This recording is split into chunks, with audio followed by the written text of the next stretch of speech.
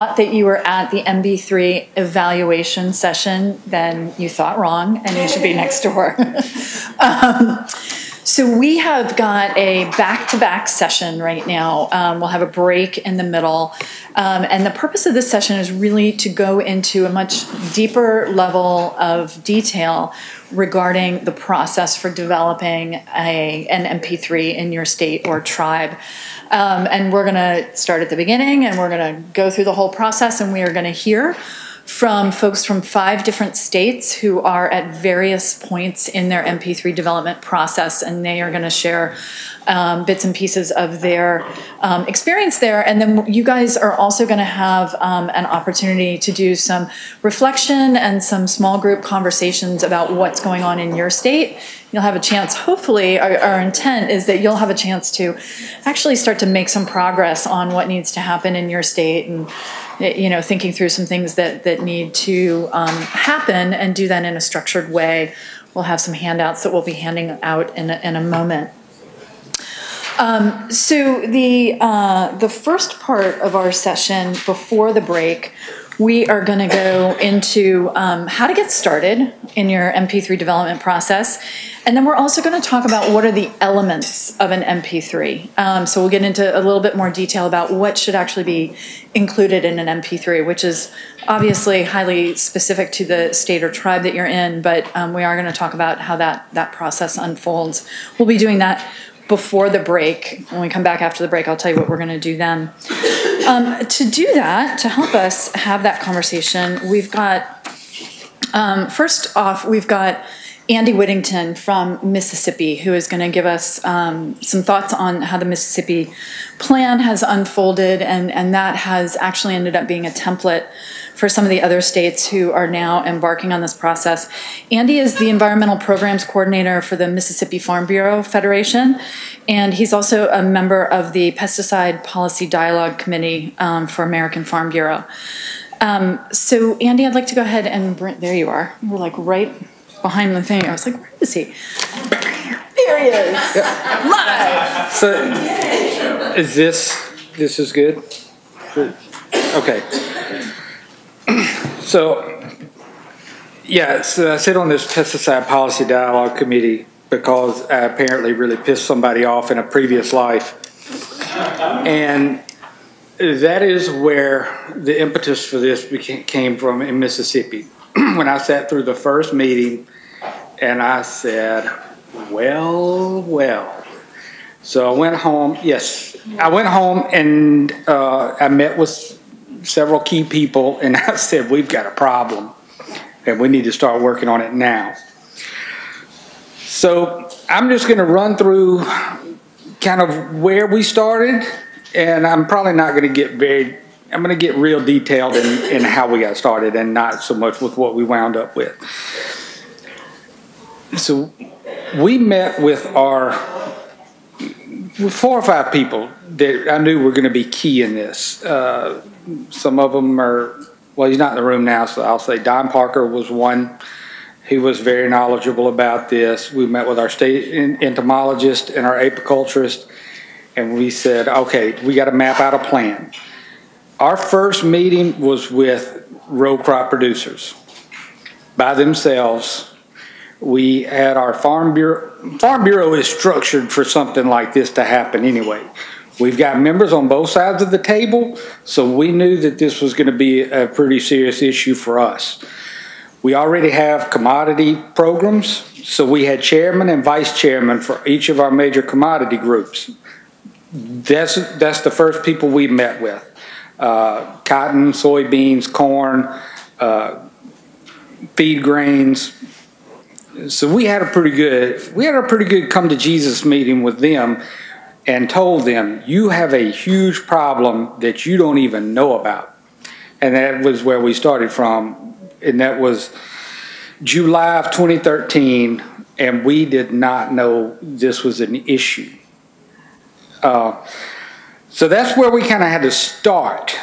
Now, the first thing you're going to have to do when you're developing a state plan is you've got to figure out what kind of situation you're in.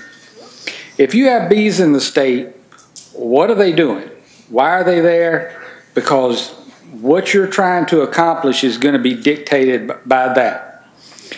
Bees in Mississippi typically don't ever leave Mississippi. They're there for honey production, and that's pretty much it. And those bees, uh, beekeepers that are making honey want to be near row crops. They, they beg farmers to let them on their fields. They know they're going to have some losses and they're perfectly okay with that because the honey they make off of a soybean crop is 50% higher than what they're going to make anywhere else in the state.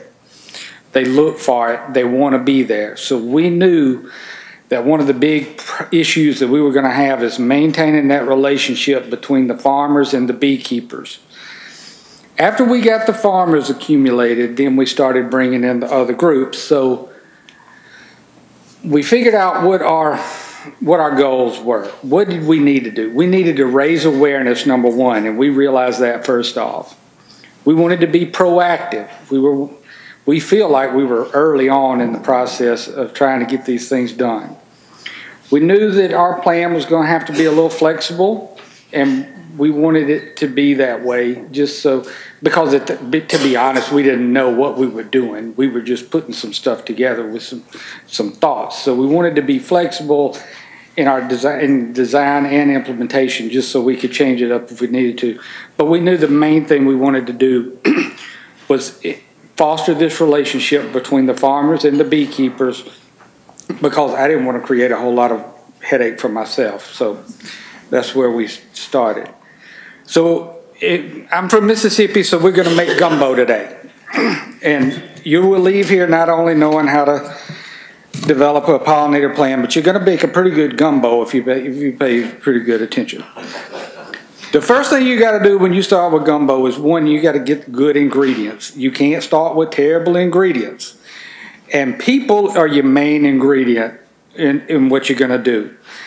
Meaning, you've got to have the right people in the room. You don't want to be chasing rabbits all day, and you don't want, you know, this person says this, this person says that. You have to know your people and who you're going to be working with, who's reasonable, who can sit down, have a conversation, and and be open-minded and try and understand the issues that each other's facing. And, and to be honest, our row crop producers and farm and beekeepers did not know what each other's problems were. The general rule is beekeeper calls a farmer and says, hey, I need to put my bees, can I put my bees on your farm? And the farmer's like, yeah, just don't put them in the turn row. If as long as they're not in the way, I don't care. And then, the, you know, at the end of the year, he gets about three gallons of honey from them. He's like, here, thanks. And that's their relationship. That was the extent of it. So you got to bring your farmers in. They don't know they've got a problem. It's a pretty big issue, as we've all seen. So you really have to get the message across to them. You may not want to be involved, but you're involved up to your neck. So, and uh, so you you got to bring your farmers along, and and then you can add in your beekeepers, and you know you got to whip them up slow. It, it, this is going to be your roux for your gumbo. And if you know anything about you, if you know anything about roux, you cannot cook a roux fast. You'll burn it, and then your whole gumbo is going to taste got that little burnt taste. You got to bring mix them together slowly and simmer them for a while, and then you'll wind up with a good roux.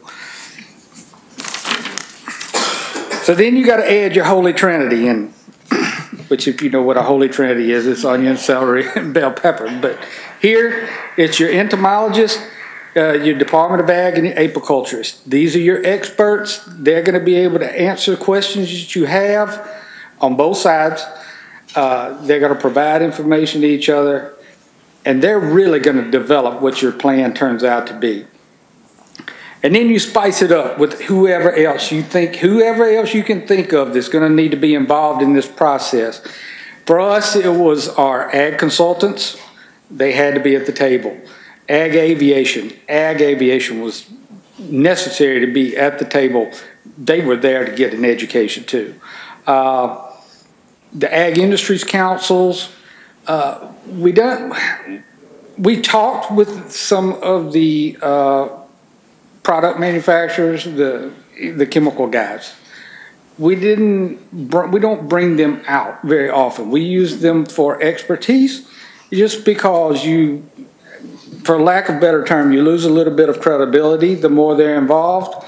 It just looks to some people that well, you're just a shield for the. you're- So we consulted with them, and they, for the most part, understood why they why we weren't taking a lot of money from them and putting their late, putting their logo on anything.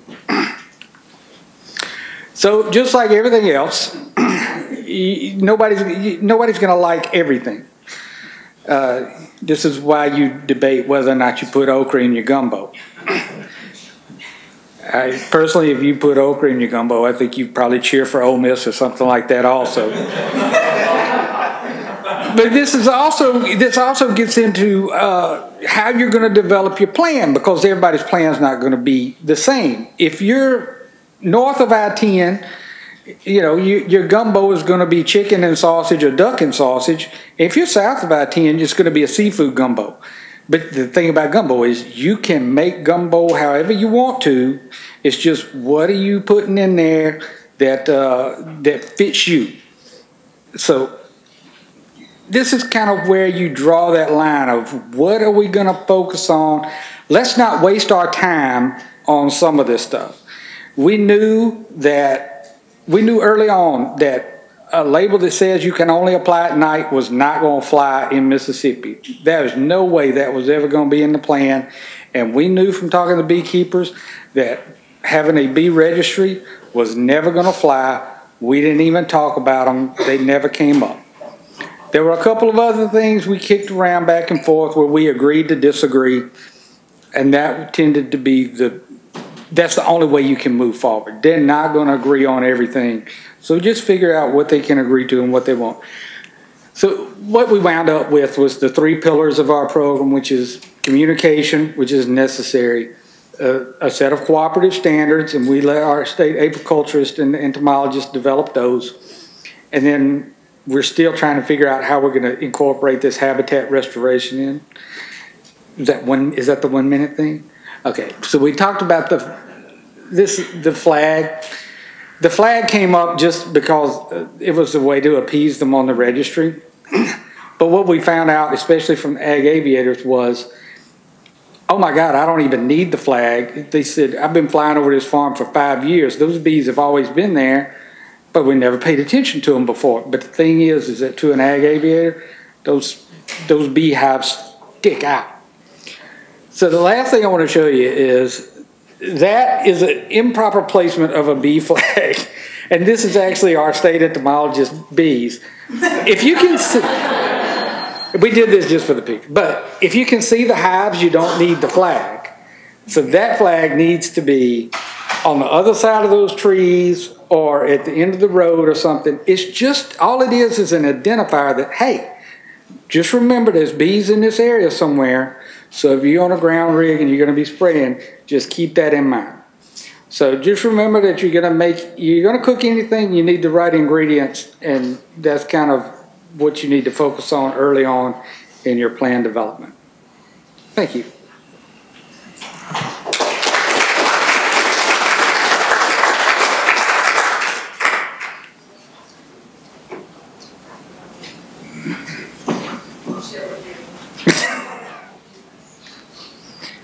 Oh, you're going to make me answer questions? Yeah. Okay. You can hear me. But we're gonna, um, before we break into small groups and have you guys uh, do some reflecting on your own, I do want to give you a few minutes to ask Andy any specific questions about the experience in Mississippi. So if there are a couple of questions, um, you want to, I'm gonna pass the mic. We can probably hear. Yeah. Well, we can, but we're recording this for Oh. posterity, so we'd love you to speak into the That's unfortunate. All right, we'll give it a try. Uh, you, you indicated that uh, from an industry sta- or a registrant standpoint that you more or less kept them out of the process uh, and did some consultation, but kept them out of the meetings. Maybe if I if I've interpreted that correctly. Right. And and you heard some comments from uh, Ian Kelly previously from Bayer that you know don't forget us. We have a lot of expertise and experience as well. Reflecting back now, would you do things differently? No, absolutely not. Okay, Uh, and- there is, I, Ian, we have talked to. Uh, I've been to the Bayer Bee Care Center. It is a tremendous place, and I would encourage anybody to go. But there is there is that public perception. It doesn't have anything to do with the farmers or the beekeepers, but there is a public perception out there that if if they're involved I hate to say it, but it just looks bad. And it doesn't move the conversation forward. They are very involved behind the scenes. And, and we talk to them constantly because they are a great source of knowledge. They know more about their products than anybody else. And the research that's been done on these products is tremendous. And the thing is, is I'm, Mike's in the room. I'm going to say this, and Mike, you close your ears. We're praying that the science is going to lead the way on pesticide issues, but the public perception part of this is just driving the bus right now. Here's the here's here is the big elephant in the room. We don't have, or we do not see a pesticide problem in Mississippi, and I can tell you that because the the reported losses in the Mississippi Delta are virtually identical to the reported losses in Neshoba County where there's little to no row crop. We don't know how to address that issue. It's kind of like asking us, how do you plan to stop beating your wife? Like I said, we don't we don't export a lot of bees other than, you know, we don't have a lot of coming in for pollination services, we do have bees that come to Mississippi from almonds. They come in this time of year, first of March, somewhere around there. They stay in Mississippi to get healthy. They're there, make everybody makes their splits. Well, not everybody, but the people that are there come down to Mississippi. They make their splits, and they send twice as many hives out of Mississippi to North Dakota or well, I think most of them go to North Dakota and make honey off of alfalfa. We are really having a hard time just wrapping our heads around how do we fight an issue that we necessarily don't think we have. So that's what I was saying about developing your plan to fit your situation. Our situation is we want to keep the beekeepers and the farmers happy. We want to keep them on each other's farms and to be honest, we've done a pretty good job considering the noise. We have had one farmer that, well, there's actually three farmers in one county that told their beekeeper, they said, you know what, it's just not worth it. Uh, just, I just want you to put your bees somewhere else. I don't want you. It's what we're trying to avoid, but we're stuck with that. So it's not that we don't appreciate or understand the, the, the industry's involvement in this issue. And I don't think anybody appreciate, very few people appreciate what industry has done. They have bent over backwards to address this issue. But it's just to keep that, to keep that, that going forward, we, we we just haven't had the registrants at the table with us. I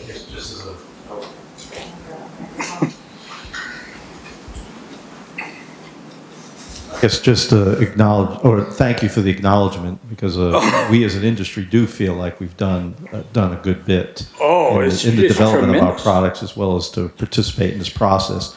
And and I guess as as uh, other states move forward, uh, or, or maybe as other states share, maybe I think some of them have uh, had registrants engaged in the Mm-hmm. process, and uh, it might be he- good to hear hear uh, their experiences as well, um, and would Oh, encourage. We've had, we, you know, we've had field days, there, there've been field days that have been put on, uh, and I'm trying to remember, one of the, one of the registrants is actually involved in a pollinator habitat program, uh, in the Delta.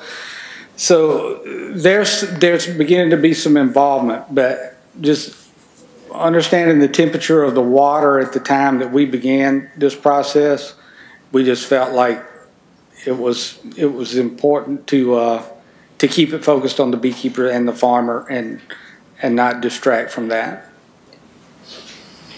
Let's take one more question and then we'll. Andy, uh, Dewey Caron, I'm now in Oregon these days. You mentioned that, that you have really two populations of beekeepers, the transients that are there for a short time and those that are there much of the time. Uh, how did you address trying to get both of those at the table, the, the transients and the, the full timer, or was it really you were talking with your the people you knew, the full timers? Uh, we'll say there's three groups because we didn't talk about the hobbyists. And oh my goodness, the hobbyists are they're growing like weeds. And the, the, and the one thing they're bad at growing is bees.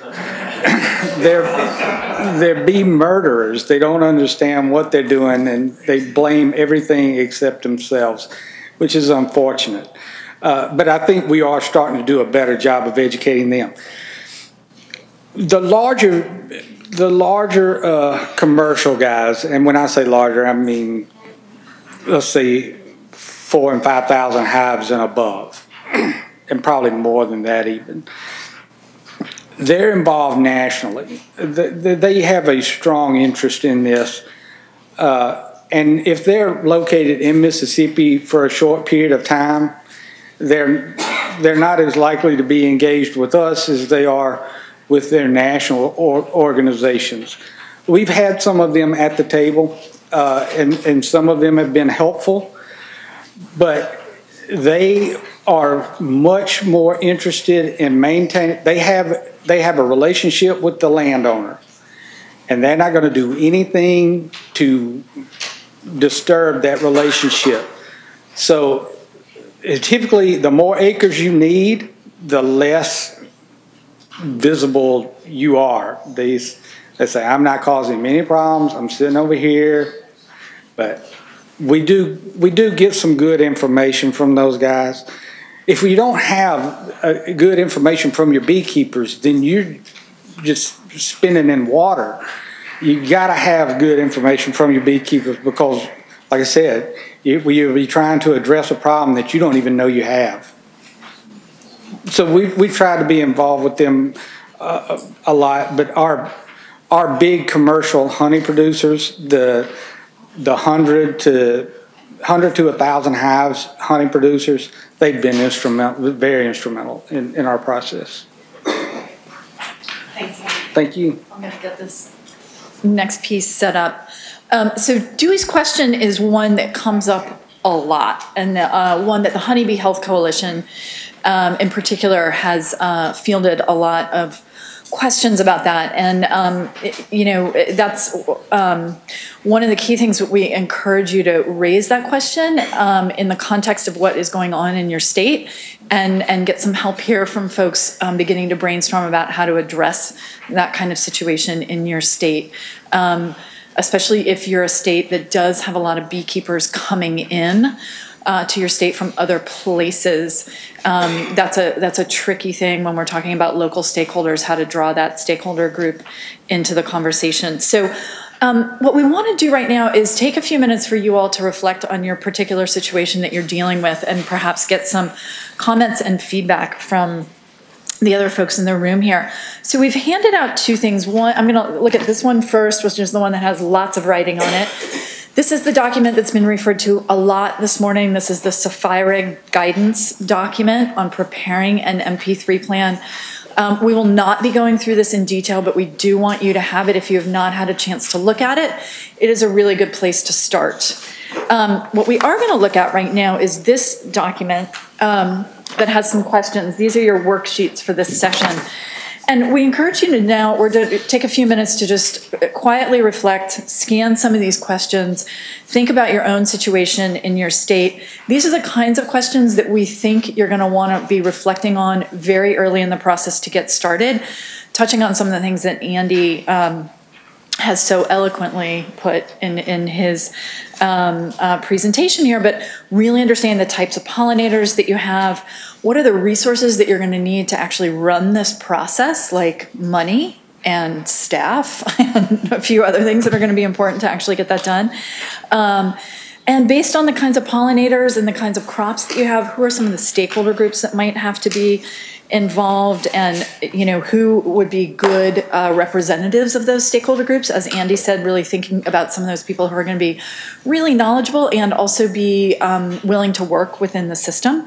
And finally, any logistical considerations. So what we want to do, we're going to give you a few minutes to just reflect on things, jot a few ideas down, um, and then we're going to invite you to, to talk amongst yourselves. If you're with people, you know, from um, uh, your state or your tribe, please go ahead and talk. And then in a few minutes, we'll cut that off and we're going to talk in the bigger group and you'll have a chance to raise some questions or, or you know, share some thoughts.